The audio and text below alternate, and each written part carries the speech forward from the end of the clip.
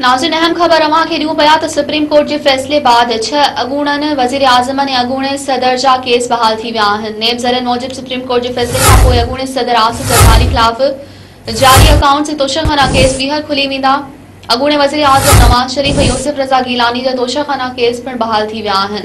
अॻूणे वज़ीर आज़म शाहिद खकर अब्बासी ख़िलाफ़ L N G reference Raja Pervaiz Ashraf ख़िलाफ़ रेंटल पावर रेफरेंस बहाल थी विया अॻूणे वज़ीर आज़म शहबाज शरीफ़, शौकत अज़ीज़, इसहाक डार अब्दुल अलीम ख़ान जा केस बि खुली वेंदा। मौजूदा निगरान वज़ीर आज़म अनवारुल हक काकड़ ख़िलाफ़ ख़त्म कयल करप्शन जो केस पिणु बहाल आहे। अदालती फ़ैसिले पोइ फरियाल टालपुर लियाकत जतोई, आदिल गीलानी, अमीर मुक़ाम अब्दुल गनी मजीद, अनवर मजीद ऐं ॿियनि सियासतदाननि जा केस बि ॿीहर एहतिसाब अदालतुनि ॾांहुं मुंतक़िल नाज़रीन हिकु भेरो ॿीहर अहम ख़बर। ॾियूं पिया त सुप्रीम कोर्ट जे फ़ैसिले बाद छह अॻूणनि वज़ीर आज़मनि ऐं अॻूणे सदर जा केस बहाल नेब ज़रनि मूजिबि सुप्रीम कोर्ट जे फैसले पोइ अॻूणे सदर आसिफ ज़रदारी ख़िलाफ़ जारी अकाउंट्स ऐं तोशाखाना केस ॿीहर खुली वेंदा।